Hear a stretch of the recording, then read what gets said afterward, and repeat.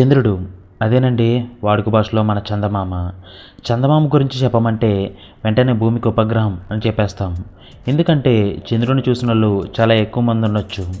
కానీ చంద్రుని గురించి తెలిసిన వాళ్ళు చాలా తక్కువ మందే ఉంటారు. సో అందుకే ఈరోజు మనం చంద్రుని గురించి మీకు తెలియని విషయాలు తెలుసుకుందాం. Let's welcome to our channel Suresh creative world సరికొత్త అమేజింగ్ వీడియోస్ మీకోసం.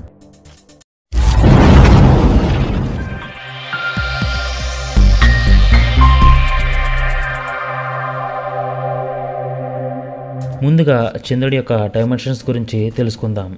చంద్రుడి డయామీటర్ మూడు వేల నాలుగు వందల డెబ్బై ఆరు కిలోమీటర్లు. చంద్రుడు చుట్టుకొలత పదివేల తొమ్మిది వందల ఇరవై ఒక్క కిలోమీటర్లు. చంద్రుడు weight seventy three point five million metric tons భూమి నుండి చంద్రునికి మధ్య దూరం మూడు లక్షల ఎనభై నాలుగు వేల నాలుగు వందల మూడు కిలోమీటర్లు.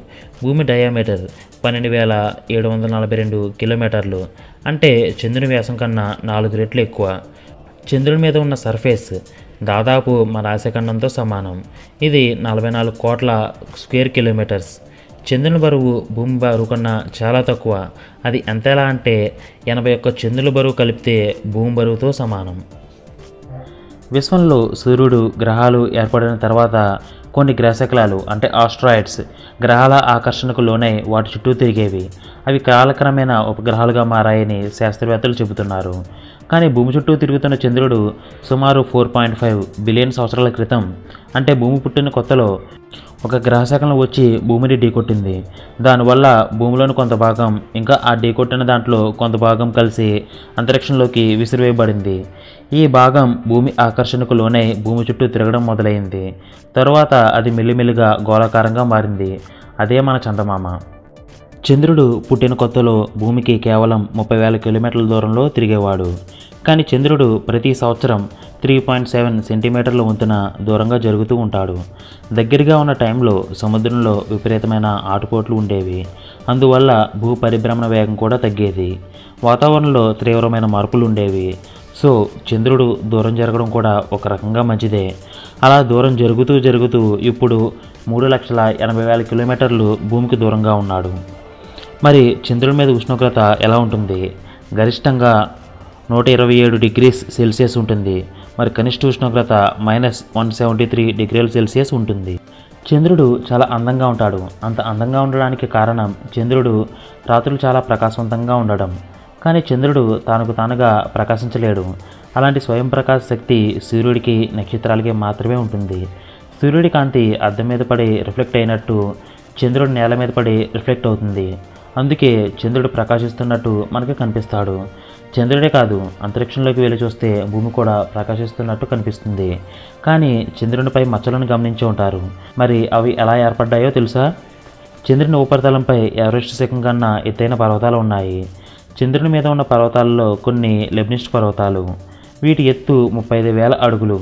భూమి మీద ఉన్న ఎవరెస్ట్ శిఖరం ఎత్తు ఇరవై తొమ్మిది వేల అడుగులు మాత్రమే.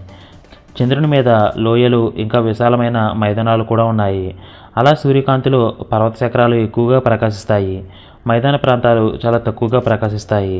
ఇలా తక్కువగా ప్రకాశించే ప్రాంతాలు చంద్రుని మీద మచ్చలుగా కనిపిస్తాయి.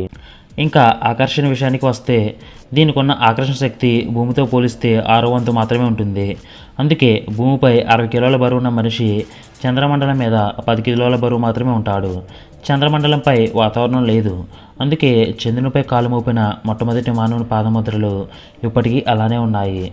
ఇప్పటిదాకా చంద్రుని మీద పన్నెండు మంది వ్యోమగాములు నడిచారు. చంద్రుడు తాను చుట్టూ తాను తిరగడానికి ఇరవై తొమ్మిది పాయింట్ ఐదు రోజులు టైం పడుతుంది. అంటే చంద్రునిపై ఒక రోజు మన భూమిపై ఒక నెలతో సమానం. చంద్రుడు భూమిని చుట్టి రావడానికి ఇరవై ఏడు పాయింట్ మూడు రోజులు టైం పడుతుంది. కానీ భూమి సూర్యుడు ఈ మార్పుల వల్ల ఇరవై తొమ్మిది పాయింట్ ఐదు రోజులు టైం పడుతుంది. దీన్ని బట్టి చంద్రుడు తన చుట్టూ తాను తిరగడానికి భూమి చుట్టూ తిరగడానికి ఒకే సమయం పడుతుంది. అందువల్ల భూమి మీద ఉండేవారికి చంద్రుని మీద ఒకవైపు మాత్రమే కనబడుతుంది. రెండో వైపు కనిపించదు.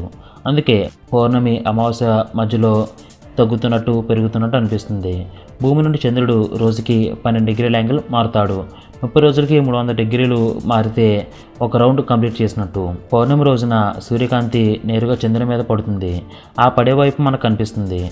అందుకే పూర్తి సర్కిల్ షేప్లో ప్రకాశిస్తూ ఉంటాడు.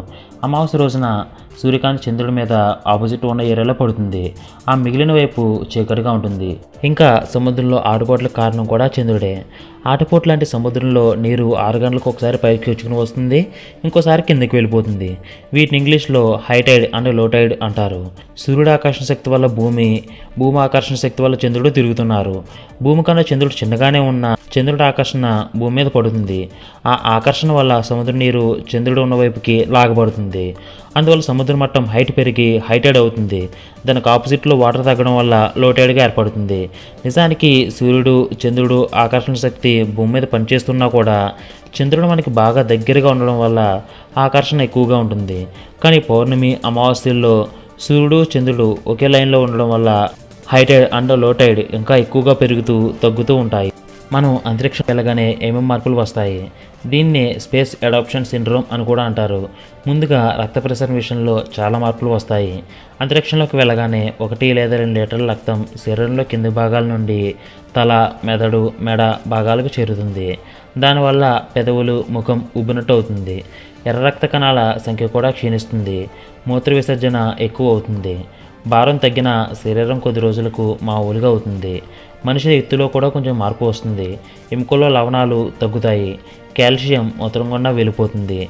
ఇలాంటి మార్పులను మనం ముందుగా తెలుసుకోవడం వల్ల వాటి నుండి సులువుగా బయటపడవచ్చు ఇవ్వండి చందుని గురించిన విషయాలు. థ్యాంక్ యూ ఫర్ వాచింగ్ మరో మంచి వీడియోతో మళ్ళీ కలుద్దాం. అంతవరకు ఆల్ ఈజ్ వెల్.